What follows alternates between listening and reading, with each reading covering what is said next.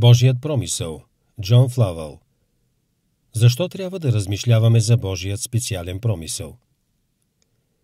След като разгледахме много примери как Бог е промислил и се грижи за своят народ, сега трябва да подчертая и факта, че Бог ни е заповядал да размишляваме върху Неговите дела, особено в трудни моменти. Ако правим това, вярата ни ще расте, според Матей, глава 6 стих 28, ако не го правим, ще си навлечем неговото осъждение, според Псалм 28, стихове 4 и 5. Ако не разбираме действието на Божественият промисъл, няма да отдаваме слава на Бога за това.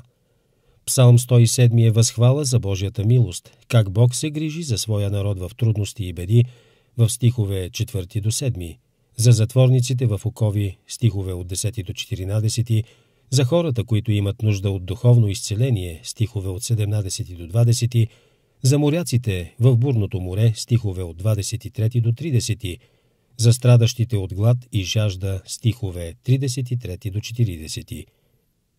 Хората са призовани да отдават слава на Бога за всяко от тези благодеяния.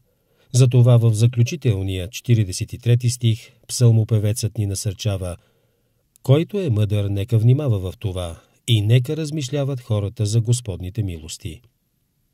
Когато виждаме действието на Божият промисъл, нашата вяра расте. Давид се изпълва с нови сили да върви напред към още победи, когато си припомня какви велики дела е извършил Бог за него в миналото. Господ, който ме отърва от лапата на лъв и от лапата на мечка, ще ме отърве и от лапата на този филистимец. Четем в първа книга на царете, глава 17, стих 37.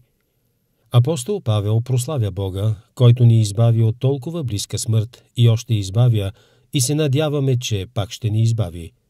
Четем във 2 Коринтини, глава 1, стих 10.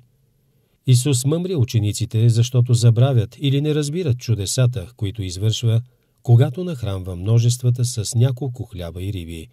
Четем в Евангелието от Матей в глава 16, стихове 9 и 10.